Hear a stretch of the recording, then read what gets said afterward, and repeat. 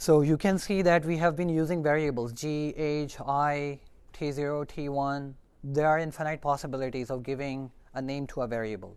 It does not mean that we have infinite possible locations in computer to store those values. There are specific locations where we can store.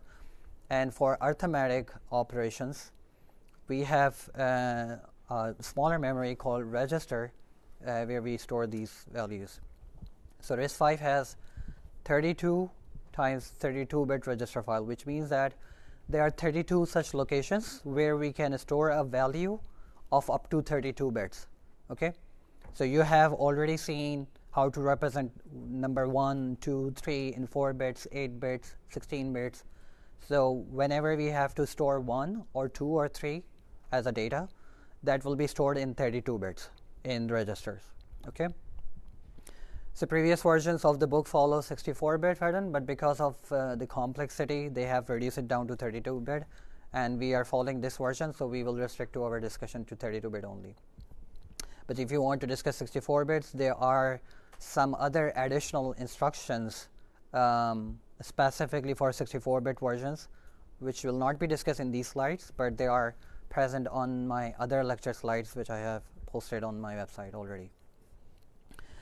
Okay, so use it is used for frequently accessed data. So first of all, there are 32 general purpose registers, and their names are x0, x1, x2, and x31. Okay, everything in computer is number. Okay, whether it's a data, data is also a number.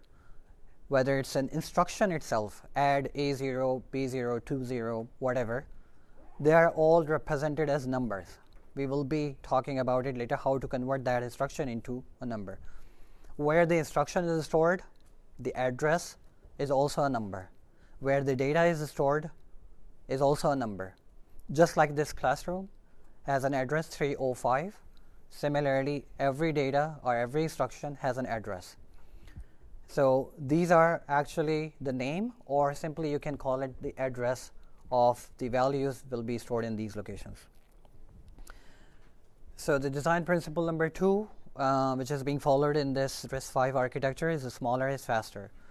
We could choose to have more than 32 register, maybe 64, 128, or 512. Okay.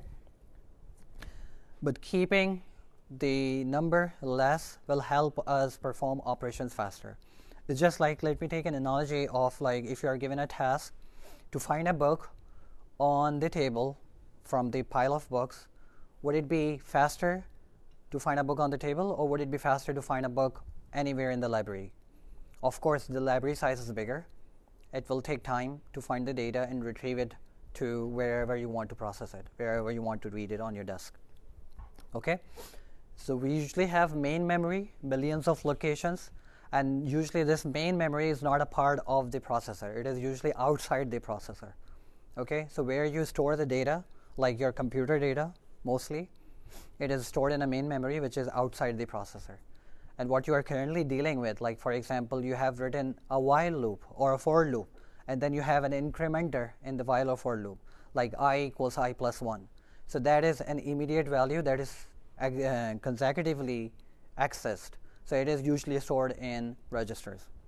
So generally, all arithmetic operations are performed within register. Even if your data is stored in a memory, main memory, that data is being retrieved from memory and first stored in registers, and then the operation is performed. Okay. So this is the registers uh, structure. We have uh, dedicated registers for specific purposes like x0. It is used to hold the constant value 0. Now you might be wondering why it is occupying 32 bits just to represent 0. There, there's, it's a, have a high significance which you will get to see in next slides. So you do not need to store the 0 elsewhere. You can just retrieve it from the register called x0. Similarly, x1 contains the return address. So you have been writing functions. So you write definition of a function in Python, and then you call a function. So when you call a function, it jumps to a certain location, executes certain piece of instructions, and then jump back to the place where the function was called from, right?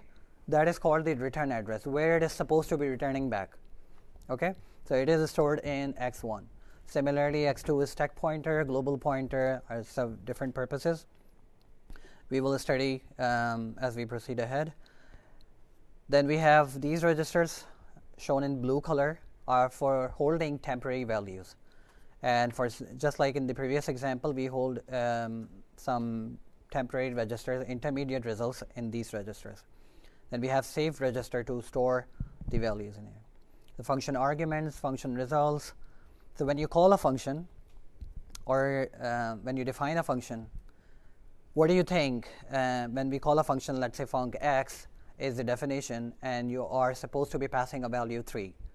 Do you think the 3 value is actually passed to a function? Hmm? When we write a function, let's say def func, for example, and let's say x, and when you call it func 3, and we, we have discussed this, this is actually assigned to x, right? So do you think it is actually passing the values? It does not pass.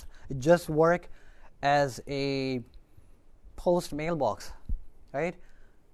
It is um, when you're calling a function, this value, the argument that are supposed to be passed, are placed in these arguments register. And when the function start executing, the control knows that it has to obtain the values from these locations. So this is how it is executed. Okay. So if we take the same example again, which we have just discussed, assume that f corresponds to x19, g corresponds to x20, and all the way until j, which corresponds to x23. So the compiled RISC-V code for the first instruction. What would be the first instruction? Add. G and H has to be added. Okay, so G and H. So what two operands you will be adding?